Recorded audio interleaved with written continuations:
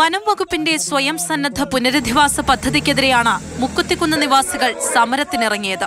കാലങ്ങളായി കൃഷി ചെയ്ത് ജീവിച്ചു വരുന്ന മണ്ണിൽ നിന്ന് ഇറങ്ങാനാകില്ലെന്ന് പ്രഖ്യാപിച്ചായിരുന്നു പ്രതിഷേധം.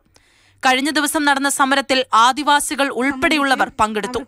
സമരക്കാർ തോട്ടാമൂല ഫോറസ്റ്റ് സ്റ്റേഷൻ ഉപരോധിച്ചു. I C Balakrishnan M L A സമരം ഉദ്ഘാടനം ചെയ്തു. പോകാൻ താല്പര്യമില്ലാത്തവരുള്ള മേഖലകളിൽ നിന്നും അവരെ നിർബന്ധപൂർവം നിർബന്ധപൂർവം ചില ആളുകളുടെ ഇടപെടലിന്റെ ഫലമായി മാറ്റിപ്പാർപ്പിക്കുമ്പോൾ എങ്ങനെ ആ ഭൂമി വനഭൂമിയാക്കി മാറ്റാൻ കഴിയും?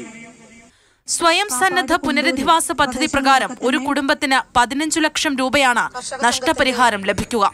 പതിനെട്ട് വയസ്സ് പൂർത്തിയായവരുണ്ടെങ്കിൽ പ്രത്യേക കുടുംബമായി പരിഗണിക്കും. എന്നാൽ പദ്ധതി അശാസ്ത്രീയമാണെന്ന് ജനങ്ങൾ ചൂണ്ടിക്കാട്ടുന്നു. കൂടുതൽ കൃഷിഭൂമിയുള്ളവർക്കും തുച്ഛമായ തുകയാണ് ലഭിക്കുക.